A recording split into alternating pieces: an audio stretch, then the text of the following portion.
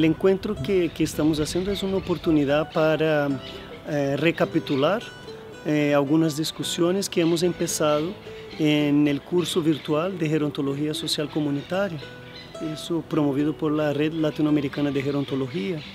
Partimos del principio que es imposible entender, es imposible entender la vejez sin entender eh, la forma como el mundo se organiza. Luego en el curso también discutimos esta relación entre género y vejez, es decir, en qué medida este concepto ele puede ser un concepto útil para analizar el envejecimiento, ¿no?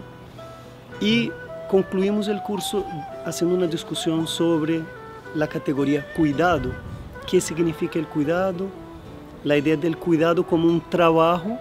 Como que las mujeres pasan de cuidar a los niños, después a cuidar a, a sus nietos o a algún vecino. La cuestión es que ella siempre tiene a alguien a quien cuidar. La experiencia que nosotros presentamos sobre las personas mayores mapuche, que en Mapuzungún se diría futraqueche, identificamos eh, que están, por ejemplo, muy arraigados los valores eh, mapuche eh, en, la, en, las personas mayores y ellas a la vez tienen la misión de traspasarlos a las nuevas generaciones.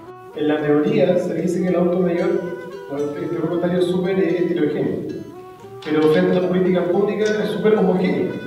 Pero es muy complejo trabajar en una institución que, tiene la finalidad de acompañar a las comunidades porque está esta doble militancia. O sea, y, y, tratar uno de poner los límites de uno mismo está recordando. O sea, tengo que pensar muchas veces con un carácter más bien institucional y otras veces también está mi corazón, si soy persona.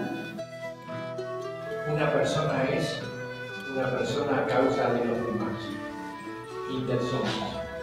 Bueno, la inspiración a la habilidad entonces a trabajar en relación a los demás. Uno, dos, tres, cuatro, cinco, uno,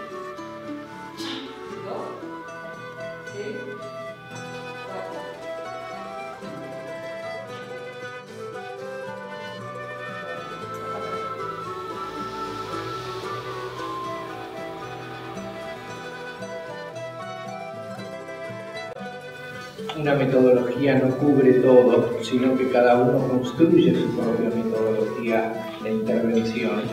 Y por ahí lo rico es saber cómo cada uno va tomando diferentes ladrillos de las diferentes metodologías para armar un todo, ¿no? Yo creo que en el verdadero sentido de la autonomía es que yo soy capaz de seguir teniendo en cuenta que otros están conmigo y que yo existo porque existen otros.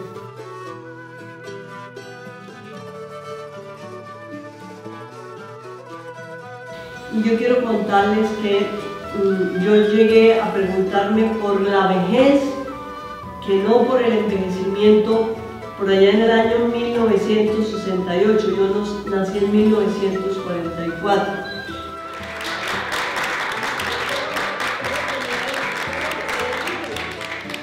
Espero que me dé el libro.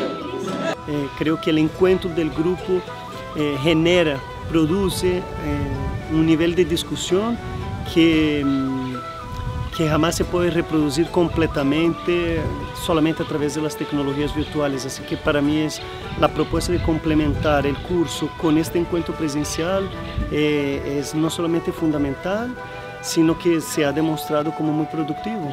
Entonces, estoy muy contento, estoy, feliz.